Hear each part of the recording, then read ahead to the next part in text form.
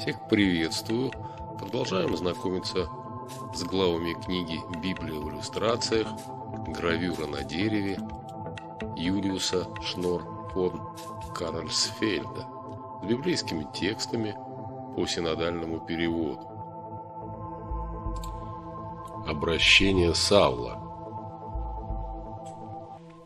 Саул же, еще дыша угрозами и убийством на учеников Господа, пришел к первосвященнику и выпросил у него письма в Дамаск к синагогам, чтобы, когда найдет последующее всему учению и мужчин и женщин, связав, приводить в Иерусалим.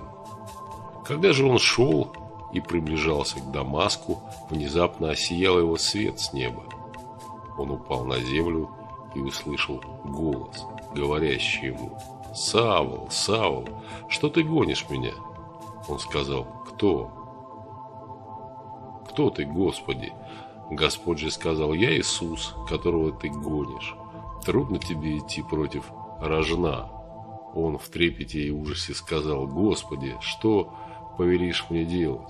И Господь сказал ему, «Встань и иди в город, и сказано будет тебе, что тебе надо делать». Люди же шедшие с ним, стояли в оцепенении, слыша голос, а никого не видя. Савл встал с земли и с открытыми глазами никого не видел. И повели его за руки и привели в Дамаск.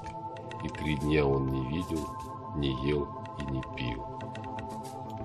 Текст по книге «Библия в иллюстрациях», гравюра на дереве Юлиуса Шнор фон Каральсфельда с библейскими текстами по синодальному переводу. Пока, пока, до свидания.